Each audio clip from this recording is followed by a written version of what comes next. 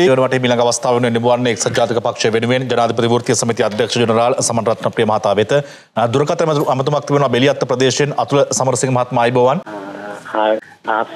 සමන්තරත්න මහත්තයාගෙන් ගරු මේ අහන්න මේ ප්‍රශ්නේ නලින් ජයතිසන් මේ මන්ත්‍රීතුමත් මෙතන හිටු මන්ත්‍රීතුමත් මෙතන ඉන්න හින්දා දැන් අපි දැක්කා සිවිල් සම් සිවිල් සංවිධාන විසින් අර මේ මේ සෞඛ්‍ය අමාත්‍යතුමාගේ එක පයිල්ලයක් හොර පයිල්ලයක් අහුවෙලා එතුමා ඒ සිවිල් සංවිධාන විසින් නඩු දාලා ඔක්කොම කරා. ජන මේ මේ වෙලේ ජනාධිපතිතුමාගේ කතාවේදී ජනාධිපතිතුමා පැහැදිලි කළා අනුර කුමාර ජනායක සහෝදරයාට අවශ්‍ය විදිහට තමයි ඒ දූෂණ විරෝධී කමිටුව හැදුවේ ලේකම්පත් කරේ එතුමාට ඕන විදිහට කියලා. එතකොට ජනාධිපතිතුමා ව්‍යංගෙන් කිව්වේ අනුර කුමාරට ෆයිල් ටික තියාන එමේ ගියාට බොරු ටික අල්ලගන්න බැරුව ගියා. එයා බොරුවක් නේද කරේ කියන එකද ජනාධිපතිතුමා ඒ වෙලේ ප්‍රකාශ කරේ කියලා මම ඔබතුමාගෙන් අහනවා. දෙවෙනි පස්සේ තමයි සමත් විද්‍යාරත්න හිටපු මන්ත්‍රීවරයා බදුල්ලේ මේ ඊයේ පෙරේද කාන්තාරසිංහ මම අහන කියනවා මේ සජිත් යම්මා සජිත් බාර දෙනවා මහින්දගේ මහින්ද මේ නාමලට බාර දෙනවා චන්ද්‍රිකා පුතාට බාර දෙනවා කියලා මේ විශ්‍රාම වැටුප් ගන්න දෙන්නේ නැහැ කියලා. නමුත් සමන්ත විද්‍යාරත්නල මේ දැන් අවුරුදු ගාන කෝටි ගානක විශ්‍රාම වැටුපක් කරන් තියෙනවා. එතකොට සමන්ත විද්‍යාරත්නල දරුවෙක් නැද්ද සමන්ත විද්‍යාරත්නල බලා ගන්න. මම හිතන්නේ මේ ඔබතුමා මම හිතන්නේ සමන්රත්න ප්‍රේමදාට යොමු වෙන්න ඕන ප්‍රශ්න නෙමෙයි කොහොම කමන්න අපි පළවෙනි ප්‍රශ්නේ ඔබතුමාට අදාළ වෙන අපි පිළිතුරක් ලබා දීලා පොදු මාතෘකාවකට. මෙතන මූලිකවම ස්තුතිවන්ත වෙනවා එතුමාට ප්‍රශ්නය යොමු කිරීම පිළිබඳව. එතුමා ඇහුවේ සෞඛ්‍ය අමාත්‍යවරයාගේ ලිපිගුණ සම්බන්ධ කාරණාවකුයි. ඒ වගේම යහපාලන ආණ්ඩුව කාලේ දූෂණ විරෝධී කමිටුවක් ස්ථාපිත කරලා කාර්යාලයක් ස්ථාපිත කරා. ඒක ඒ වෙලාවේ ආණ්ඩුවට සම්බන්ධ වුණු අනුර කුමාර දිසානායකට තියා මගීමක් පැවරුවා. ඒ වගේම ඔහුගේ සගයෙක් තමයි ඒ තැනට පත් කරේ කියන කාරණාව. මම හිතන්නේ ජනාධිපතිවරයාත් ඒක පැහැදිලිවම පාර්ලිමේන්තුවේදී කිව්වා. ඉතින් කොහොම වුණත් ඊට අදාළව ගත්තොත් එහෙම වගකීම් පවරපු අය ඒ වගේම ඉෂ්ට කරන්න බැරි වුණා කියන කාරණය පැහැදිලි. යම් යම් මැදිහත්වීම් කරාට අවසාන ප්‍රතිඵලයක් ගන්න එහෙම මොතේ කාටවත් හැකියාවක් ලැබුණේ නැහැ. ඒ ලිපිගුණ තමයි අනුකුමාර සහෝදරයා පස්සේ අර ගෙනල්ලා ජනමාධ්‍ය ප්‍රදර්ශනය කරලා යම් දේශපාලන කාරණාවක් කරන්න උත්සාහ ගත්තේ කියලා අපි දැක්කේ.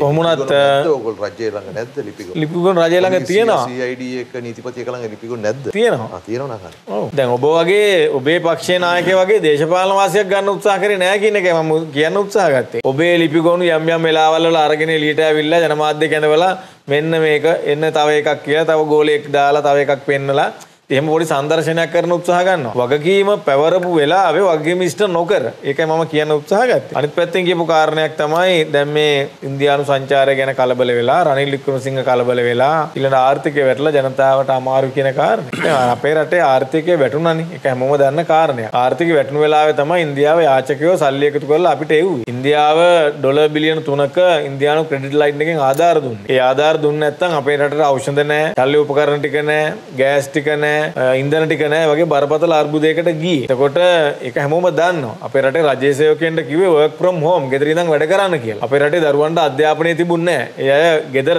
ඔන්ලයින් එකෙන් ඉගෙන ගන්න පුළුවන් ස්මාර්ට් ෆෝන් එකක් තියෙන ටැබ් එකක් තියෙනවා ඉගෙන ගත්තා.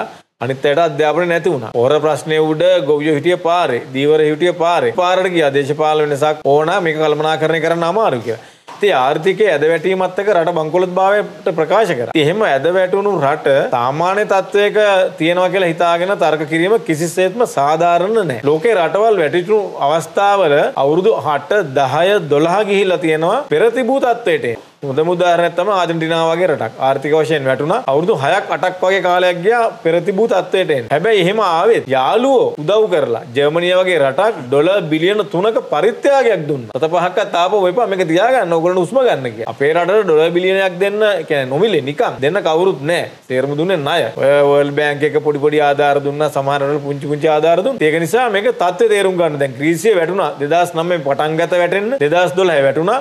අවුරුදු 10ක් යනකම් උස්ම ගන්න බැරුණා. ග්‍රීසිය පොලිස් නිලධාරීන් වැඩ වර්ධනය කරා. වැටු කපලා දීමනා කපලා. එවැනි තත්ත්වයක් තිබුණේ. ලිබියාව වැටුණා. අදත් ගොඩ ගන්න බෑ. ඒක නිසා අපි මේ තත්ත්වය තේරුම් ගන්න. අපේ රට වැටුණා මාස 18ක් 19 යනකොට උස්ම ගන්න පුළුවන් තත්ත්වයට රටපත් කරගත්තා. ඇත්තට මේක ආශ්චර්යයක්. ඒක නිසා තමයි කිව්වේ උල්කාපාත වේගයකින් වැටුණා. රොකට් එකකින් නැගිට්ටුවා කිය. ලෝකයේ අද අ, කියනවනේ ජාත්‍යන්තර මූල්‍ය අරමුදලේ ප්‍රකාශිකාව කියනවා වැටුණු රටවල් වලින් ඉක්මනින්ම හුස්ම ගන්න මහන්සි වෙන රට බවට ලංකාව පත් වෙමින් තියෙනවා. ලංකාව දිහාවට අත්පොලසන් දෙන්න ඕන කියලා. ජාත්‍යන්තර මූල්‍ය අරමුදල වගේ අ, තැනක ප්‍රකාශිකාවක් එහෙම කියන්නේ නැහැ. ලෝකේ කිසිම රටකට එහෙම කියලත් නැහැ. ඒක නිසා අපේ රට හුස්ම ගන්න උත්සාහ ගන්නවා. හැබැයි ඒ හුස්ම ගන්න එකට හැමෝම එකතු වෙලා මේ අර්බුදය වෙලා එකතු වෙන්න කියන එක කිව්වේ. දැන් මෙතුමත් ඒක පොඩ්ඩක් වරද්දාගත්තා මේ. රනිල් වික්‍රමසිංහ ම හදනවා හැමෝම එකතු කරගන්න කියලා මේ මේ වෙලාවේ.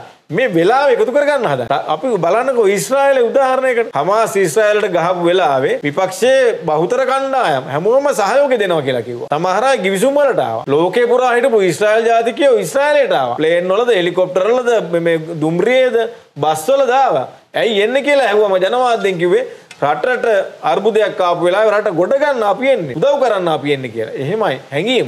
කියන්නේ පාරට පස්සේ ග- ගහලලවලා පාර්ලිමේන්තුවට ඇවිල්ලා එන්න කියනවා. ඔව් ඒක මේ ගිය ගිය සතියට කලින් සතිය වුණ එකක්නේ. දැන් පාරට ආවේ ඒ සතිය විතරක් නෙමෙයිනේ. ඒකෙදි තිබුණ අධිකරණ නියෝගයක්. අධික පෙළපාලියන් යෑමට අදාළව අධිකරණ නියෝගයට බාහිරව ඒකට විරුද්ධව ක්‍රියාත්මක වෙනකොට පොලිසිය නීතිය ක්‍රියාත්මක කරන උත්සාහ ගන්නවා. ඒක හරි පැහැදිලි. අනිත් එක මේ රටේ රට වැඩුණේ මාස 18කට මාස 18 නෙවෙයි මාස 20කට විතර කලින්නේ. ඊට පස්සේ තමයි මේකට ඒ ටික ටික මේ රට ගොඩ ගත්තේ. උස්ම ගන්න පුළුවන් තත්ත්වයට පත් කරේ. ඒ හැම වෙලාවෙම කිව්වේ එකතු වෙන්න කියලා. ලංකාවේ නීතිඥ සංගමය කිව්වෙත් මොකද්ද? එකතු වෙන්න. එකතු වෙලා ආණ්ඩු කරන්න.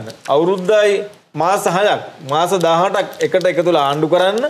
ඊට පස්සේ රට යථා තත්ත්වයට පත් කරගෙන ඊට පස්සේ මැතිවරණයකට යන්න කියලා. එහෙම යථා තත්ත්වයට පත් කරන විපක්ෂය වැඩ කරා. එහෙම වැඩ කරේ නෑ අපේ රටේ. එහෙම වැඩ කරේ නෑ. හැම වෙලාවෙම හැදුව කකුලෙන් අදින. පළාත් පාලන මැතිවරණයක් කියලා දිගටම ජනතාව පාට බස්සන්න උත්සාහ ගත්තා. ඒ වෙලාවේ වැටිච්ච රටේ මොන පළාත් පාලන මැතිවරණද කියන්නේ? මේ හොම්බෙන් හොම්බෙන් ගිහපු රටේ මිනිස්සු පාරේ ගෑස් ටික ඉල්ලනවා, බෙහෙත් ටික ඉල්ලනවා, ඉන්ධන ටික ඉල්ලනවා. ඉන්ධන ලීටරයක් රුපියල් තුන්දාහකට ආරදාහකට ගැහුවේ අපි. අයි දෙක තුන වෙනකම් පෝලිං වලින් ඉඳලා ඉඳලා නැති වෙනකොට අදිසි හොස්පිටල් එකකට යන මොකට හරි යන්න ඕන නම් ඉඳලා නැති වුණාම රුපියල් 3000 4000යි. එයාට පෝලිං ඉඳලා වල ඉඳලා ඉන්ධන ටික එකතු කරගත්තා. ඒකෙන් 3000ට 4000ට අපි ගන්න සිද්ධ වුණා. ඉතින් එවැනි රටක් තමයි මේ කළමනාකරණය කරේ. ඉතින් මේක තේරුම් ගන්න බැරුව අ, රට සාමාන්‍ය තත්ත්වයක ඉන්නවා කියලා අ, හිතලා කල්පන මත විවේචනය කරන එක කිසිසේත්ම සාධාරණ නැහැ. මොකද මේ අයටත් කිව්වනේ මේක බාර ගන්න කියලා වැඩිච්ච වෙලා කවුරුත් බාරගත්තේ නැහැ. ඒ තත්ත්වය ඇතුලේ තනි පුද්ගලයෙක් මේක බාර අරගෙන කළමනාකරණය කරලා රට උස්ම ගන්න පුළුවන් තත්ත්වයට පත් වුණාන් පස්සේ තාමත් පිට්ටනිය හරියට සකස් වෙලා නැහැනේ. තාම උස්ම ගනිමින් ඉන්නවා.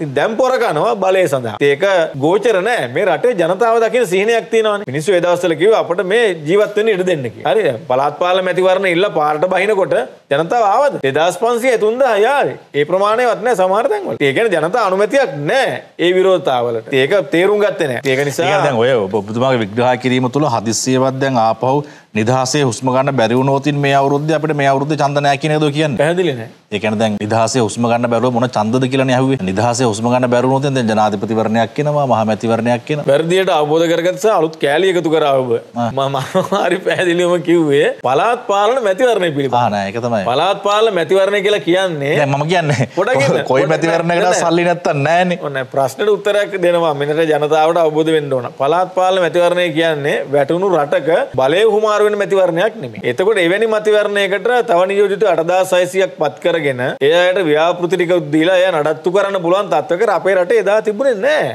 ඒක පිළිගන්න ඕනේ අපි හැමෝම. තෙල් ටික ගෑස් ටික කන්න බොන්න නැති රටක මොන පළාත් පාලන මැතිවරණ තව 8600ක් නඩත්තු කරන්න විහිළුනේ. ඒතර ඒ විහිළුව වෙනුවෙන් ජනතාව පාරට බස්සන්න උත්සාහ කරනකොට ජනතාව hina වෙලා පැත්තකට වෙලා හිටියා මිනිස්සු ආවේ නැහැ. ඒක අවබෝධ කර නොගත්ත අය එකට එකතු වෙලා පාරට බහැලා ගුටි ගුටි ගහගෙන හූ කියාගෙන කතා නොදී මේ ගෙවල් වලට ගියා. ඉතින් අපි දැක්කනේ. එතකොට මම කියන්න උත්සාහ කරන්නේ යථාර්ථවාදී වෙන්න ඕනේ අපි හැමෝම. ඒ යථාර්ථය තමයි රනිල් වික්‍රමසිංහ මේ වෙලාවේ කියන්නේ. ඔහු කියන්නේ තවම අපි උස්ම ගන්න උත්සාහ කරනවා. තාම අපි ණය මත යැපෙන්නේ. අපි හැබැයි ණය ගෙවන්න පටන් ගත්තා. බංග්ලාදේශෙට ණය ගෙව්වා. දැන් අපි ඉන්දියාවෙත් ණය කොටසක් ගෙව්වා. පොඩි ගාණක් ගෙව්වා. එහෙනම් අපි 2024 අවසානයේදී ණය ගෙවන්න පටන් ගන්න ඕන. ණය බරේ මිරිකිච්ච හැමදාම ණය වෙච්ච රටක් බවට අපි පත් වෙන්න ඕනේ නැහැ. අපි එකතු වෙලා නැගිටින්න ඕනේ. අන්නේ අමාරු වැටිච්ච වෙලාවෙ එකතු වෙන්න කියලා මේ කියන්නේ. ජනතාව අමාරු වැටිච්ච වෙලාවේ රට වැටිච්ච වෙලාවෙ එකතු වෙන්නේ නැත්තම් ඒ වෙලාවෙත් කියනවනම් ඕගොල්ලෝ ඔගොල්ලෝ ඔයා ගොඩ ගන්න. ගොඩ ගත්තයන් පස්සේ අපි එන්නම් කියලා මොන විහිළුද මේ? ඒකින්ද ඒ එවැනි විහිළු මේ වෙලාවේ ගෝචර විහිළු නෙමෙයි. අනිත් එක අර ලංකා රාජ්‍ය ගොඩනැගීම පිළිබඳ කතා කරා. ඒක ඇත්ත කාරණා. දැන් අපේ රටේ ලංකා රාජ්‍ය ගොඩනැගීම කියන කාර්යයට අදාළව හුඟක් දේශපාලන පක්ෂ උත්සාහ කරා. තම තමන්ට පුළුවන් උපරිම ප්‍රමාණයෙන් වැඩ කරන්න.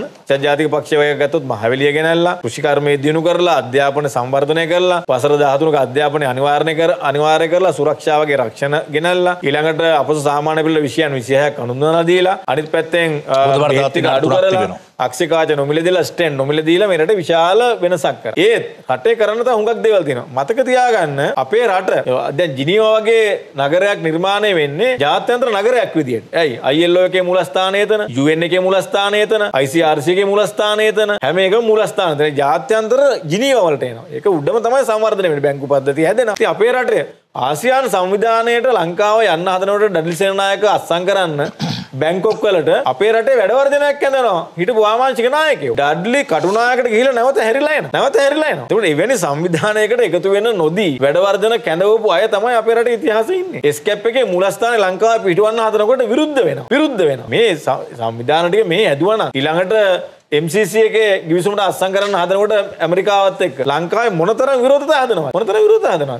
ඒක නිසා නොගැලපෙන දේවල් තමයි අපේ රටේ ඉතිහාසයේ හුඟක් කරේ. ඒක නිසා අපි අද වෙන අද දැන් JVP එක ඉන්දියාවට ගිය- ගිය එක හොඳයි. මොකද වෙනස් වෙන්න ඕනේ අපි ඒක පිළිගන්න. නමුත් කිව්ව රනිල් වික්‍රමසිංහ කලබල වෙලා කියලා. රනිල් වික්‍රමසිංහ මහත්මයා කලබල වෙන්නේ නැහැ. තමන්ගේ ගේ ගිනි තියපු වෙලාවෙත් කලබල නොවුණු රනිල් වික්‍රමසිංහ මහත්මයා අනුරු කුමාර ඉන්දියාවට ගියා කියලා කලබල වෙන්නේ නැහැ ප්‍රශ්නේ තියෙන්නේ වෙනස් වෙන එක හොඳයි. හැබැයි ඒ වෙනස් වීම සාධනීය විදියට මේ රටට ගෝචර විදියට සිද්ධ වෙනවා නම්. අපි දැක්කනේ 1983 කළු ජූලිය සහ ඊට ආශ්‍රිත කාලවලදී JVP ගේ හැසිරීම මොනවද? ඉන්දියාවේ පරිප්පු වලටත් විරුද්ධයි. කියන්නේ ඉන්දියාවෙන් ගෙන සියලු භාණ්ඩ වර්ධනය කරනු කියලා තමයි කිව්වේ. පරිප්පු එපා ඉන්දියාවෙන් ගෙන හැම එකම එපා කියලා. ඉතින් එවැනි අදහසක හිටපු අය ඉන්දියාවත් එක්ක සාකච්ඡා කරන්න යන එකේ හොඳයි මොකද ඉන්දියාව කියන අපේ අසල්වැසියා දැවැන්තම රාජ්‍ය ඒක ප්‍රශ්නයක් 83 කළු ජූලියත් එක්ක මොකක්ද අපේ සම්බන්ධය? නෑ නෑ මං කිව්වේ කළු ජූලිය ආශ්‍රිත කාලේදී 88 89 දීත් ඔයගොල්ලෝ 83 කළු ජූලිය තහනම් කරා ඊට පස්සේ. ඔව් මන් දන්නවා, ඔව් නෑ මොකක්ද ඒකත් එක්ක අපේ සම්බන්ධය කියලා මං ඇහුවේ. නෑ සම්බන්ධය නේ මම කිව්වේ ඔයගොල්ලෝ ඉන්දියානු විරෝධයක් ඇදුවේ 88 89 ඒක නිසාම තමයි ඒ 83 අපිට සම්බන්ධයක් නෑ. නෑ 83 සම්බන්ධ වෙන්නේ මේකත් එක්ක නෙමෙයි ඔයගොල්ලෝගේ පක්ෂ තහනම් වෙන ඔයගොල්ලෝගේ හැසිරීම් සහ අනිකුත් කාරණාත් එක්ක මම කියන්න උත්සාහ කරේ. ඉන්දියානු විරෝධයක් බරපතල විදියට හැදුවා. ඉන්දියාවේ පරිප්පු පවා එපා කියලා කිව්වා. හරිද? ඊළඟට අන්දා අබ- අදානිලා වගේ අය ලංකාවට ඇවිල්ලා ආයෝජන කරනකොට වරාය වගේ තැන්වල ඒකට විරුද්ධ වුණා. විරුද්ධ වෙච්ච මේ ජනතා විමුක්ති පෙරමුණ ඉන්දියාවත් එක්ක සාකච්ඡා කරන්න යන එක හොඳයි කියලා මම කිව්වා. හරි අදහසක් විදියට ප්‍රතිපත්තියක් විදියට ඒක හොඳයි. ඉතින් ඒක නිසා එම් වෙනස් වෙන එක හොඳයි. ඉතින් අනිත්. පැත්තෙන් අර දැන් මොනවාද කියපු කාරණයක් තමයි මේ පන්ති පහේ මොකද ඉන්දියානු ව්‍යාප්තවාදය ගැන තිබුණු කතාවක් කිව්වා. ඉතින් ඒක මිනිස්සු කියවීම කියන කාරණයකනේ අදහස් ප්‍රකාශ වෙන්නේ. දැන් පිදෙල් ගැන. නෑ දේ නලින්ද පිදෙල් කැස්ට්‍රෝ ගැන කියපුවා කියන්නේ පිදෙල් කැස්ට්‍රෝ එක තේබීලවත් ඉඳලවත් නෙමෙයිනේ. ලෙනින් කියපුවා කියන්නේ මාක්ස් කියපුවා ගැන කියන්නේ එංගල්ස් ගැන කියපුවා කියන්නේ ඒගොල්ලෝ කියපුවා කියන්නේ ඒගොල්ලොත් එක වාඩි වෙලා ඉඳලා තේබීලා කාලා බීලා නෙමෙයි. ඒගොල්ලෝ කියපුවා කියවලා නේ ඒගොල්ලෝ කියපුවා කියවලා කියවලා. ඒ වගේ ඔයා කිව්ව එක කියවලාද? මිනිස්සුත් අදහස් ප්‍රකාශ ඔයා ප්‍රෙස් කරන්නේ එකේද කිව්ව එක කියවලාද? මොනවාද? දැන් ඉන්දියානු ව්‍යාප්තවාදය ගැන පන්තිය ගැන කිව්වේ ඔයා කොහෙන් කියවලාද? අනිවාර්යයෙන්ම කොහෙද කියවලා තියෙන්නේ? අනිවාර්යෙන් කොහෙද කියවලා තියෙන්නේ? ඕගොල්ලෝගේ. ලිපි ලේඛනවල ඕගොල්ලෝගේ ප්‍රකාශන කියවලා වල. ඕගොල්ලෝගේ පක්ෂය ගැන. ලියපු ලියකියවිලි වල ඕවා ඕන තරම් තියෙනවා කොයි නිකන් තිබුණේ කියන්නේ? හරි. කියෝප එකේ කියන්න. කි- කියෝප එකේ- ඉන්දියානු ව්‍යාප්තවාදය ගැන අපි කතා කරේ කොයි කාලද කියලා? ඉන්දියානු ව්‍යාප්තවාදය ගැන විජේවීරගේ ඉඳන් කොයි කාලේ? ඔයගොල්ලෝගේ ඉතිහාසගත නායකයා ඉඳන් ඊට පස්සේ හැම කෙනෙක්ම. කතා කරා ඉන්දියානු ඒක විරෝධය තිබුණේ කොයි. කාලෙද කියලා කියන්න. ලොකු ප්‍රශ්නයක් නෙමෙයි. ඉන්දියානු විරෝධය කියන එක හතරකින් මං ඒකේ- අහන්නේ. ඒකේ දිගුවක් විදියට දිගු නෙමෙයි. ඒකේ දිගුවක්. නිශ්චිතව කිව්වේ ඕගොල්ලොන්ට ඕගොල්ලොන්ගේ දේශපාලන මූලෝපාය වුණේ තනියෙන් ඉන්නකොට ප්‍රෙස් එකක් තියලා කිව්වනේ ඔය කතාව මං අහන්නේ මට ඉලක්කම් හතරකින් කියන්න මොන අවුරුද්දේද අපි ඔය ගැන කතා කරේ කියලා. ඒ කිව්වනේ ඒතර පිළිගන්න පුළුවන් කියවල නැද්ද කියලා. ඉතින් මෙහෙම ඉන්දියානු ව්‍යාප්තවාදය ගැන ඕගොල්ලෝ බරපතල විදිහේ විවේචනයක් එල්ල කරා කියන කාරණේ මේ රටේ ඉන්න මිලියන 22 ජනතාවගේ මිලියන 20ක් විතර දන්නවා. ඉතින් ඔය- ඒකට උදාහරණ පන්තියක් ගැන පන්තියක් ගැන. ඔයා ඒක කියන්න. ඔයා පන්තියක් ගැන. ඒක කියන්න ඕගොල්ලෝගේ සිලබස් එක වෙනස් කර ගන්නවා කියලා කියන්න. පන්තියක් ගැන ඉන්දියාවෙන් ඉගෙනගෙන කොයි ඉන්දියාවේ, කියන්නකෝ. නායකයා කියන විදිහට තමන්ගේ සිලබස් එක වෙනස් කරගෙන දැන් අපි ලංකාවේ හැසිරෙන්න උත්සාහ කරනවා කියලා කියන්න. කියන්න දැන් මේකොල්ලෝ ඇමරිකන් අධිරාජ්‍යවාදයට වාදයට කොච්චර විරුද්ධ වුණාද කියන්නකෝ ඇමරිකන් ඉස්සරහට කිව්වා. හරි ඔහේ අර කියවනවා. මිනිරාල් වැඩක් වලින් නැහැ නේ. ෆයිට් හදන්න කතා කරේ මේක වරදින එකේ සීමාවකුත් වාඩද? සීමාවකුත් නැහැ වාඩද? ඒකට වරදින්න හරි කියන්නකෝ ඉලක්කමක් මේ කොයි අවුරුද්දද කියලා ඉතින් මිනිරාල් වලින් ෆයිට් නෑ නෑ නෑ නෑ ඉන්දියානු ව්‍යාප්තවාද ගැන අපි කිව්වේ කොයි කාලෙද මන් දැන් ඒ ගැන ඇති වෙන්න කිව්වනේ කො- මං ඉලක්කමක් කිව්වනේ කියන්නේ මේ මොන අවුරුද්දද? මිලියන ඒ 22කින් පන්තිය තිබ්බේ මොන අවුරුද්දද මිලියන 22කින් මිලියන 20ක් විතර ඉලක්කම දන්නවා කිය- ඉන්දියානු ව්‍යාප්තවාදය ඒක. නෙමෙයි අවුරුද්ද ඉන්දියානු ව්‍යාප්තවාදය ගැන අවුරුද්දයි. මාසෙයි දවසයි ඔයා කියන්නේ දැන් ඔයා ඔයා කිය ඔයානේ නියෝජිතයා මමනේ ප්‍රෙස් එක ගත්තේ ඔයා කිව්වේ මම හරි පැහැදිලිව අද මට හම්බුනේ. දන්නවා ඔයගොල්ලෝ ඉන්දියානු ව්‍යාප්තවාදයට විරුද්ධව කතා කරා. කාලෙද පන්තියක් විජේවීරගේ පන්තියක් කරේ කොයි ඉඳන් හැම කාලෙද කෙනාම කතා කරා කියන එක. වැඩක් නෑනේ. ඔයා කතා පන්තියක්- කරන්නේ පන්තියක් කරේ කොයි නේ. කාලෙද? එච්චර මං අහන්නේ. JVP එකට ඔයා නිකන් ඔයාට දන්නා වගේ කිව්වනේ.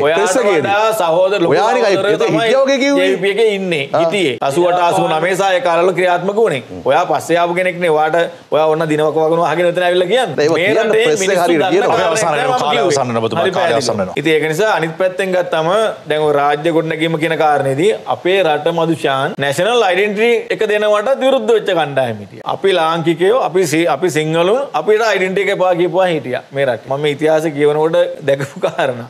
ඊළඟට බැංකු වලින් පඩි ගෙවනකොට ජනතා විමුක්ති පෙරමුණේ උරු සමිතිය විරුද්ධ වෙලා වැඩ වර්ජන කැඳෙව්වා. ඒක සාර්ථක වුණේ කියන්නේ වැටුප පඩි බැංකු වලට දානකොට. කියන්නේ මේ අලුතෙන් අලුතෙන් නිර්මාණශීලී විදියට ඕනම රටක් ලෝකයේ දැන් මේ බැංකු වලින් වැටුප් ගෙවන්නේ. ඩිජිටල් කාඩ් එකටනේ යන්නේ. අතේ සල්ලි අරගෙන යන්නේ නේ. ඉතින් මේ අලුත් වෙනවට විරුද්ධයි. එක්ක තමන් ආවම මේව අලුත් කරනවා කියලා හිතාගෙන ඇති. අනිත් අලුත් කරනවට විරුද්ධයි. ඒක තමයි අදහස. අපි අවසන් ආයෝජන කරමු. වලට පවා ඔබතුමා කාලය ඉතිහාසය අවසන් විරුද්ධ වුණානේ. මේ මොන ව්‍යාප්තවාදයක්ද කියන්නකෝ. ආයෝජන ඕනේ නැහැ. ලංකාවේ භූමියේ තියෙන සම්පත් ටික ඇති වෙනට දිනු කරන්න කියලානේ කිව්වේ. IMF එකට පක්ෂ වුණාද ඉතිහාසයේ? දැන් තමයි කියන්නේ IMF එක වැනි ජාත්‍යන්තර සංවිධානවල සහයෝගය අපිට ඕන. ඒක අපි මේ කල්පනා කරලා බලනවා කියලා. වැනි සහයෝගය. IMF වගේ වැනි සහයෝගය ජාත්‍යන්තර සහයෝගය මේ ආයතනයක් ලෝකේ නෑ. එකයි තියෙන්නේ. අනිත් එක World Bank එක World Bank එක වැටුණු රටවල වල ආර්ථිකය කොට ගන්න මූලෝපායන් හදලා අ, ප්‍රතිපත්තිමේකතාවන් හදාගන්න අනිත් ඒවා. තියෙන එක මේකයි. කාලය අවසන් වෙනවා. එතකොට මේවා ටිකක් මේ ආර්ථිකය හදන්නේ කොහොමද කියන කාරණාව පිළිබඳව අවබෝධයකින් කතා කරන්න ඕන දේශපාලන පක්ෂයක් විදියට වගකීතු පක්ෂයක් විදියට. බොහොම ස්තුතියි. ඒක. නිසා අපි අපි කියන්නේ ඒ වගකීමෙන් හැසිරුණොත් මේ රටට අනාගතයක් තියෙනවා. එහෙම නැතුව බොරුවෙන් වංචාවෙන් මිනිස්සු අන්දන්න උත්සාහ කරොත් මේ රටට අනාගතයක් නැහැ. බොහොම ස්තුතියි. අපි ඉන්න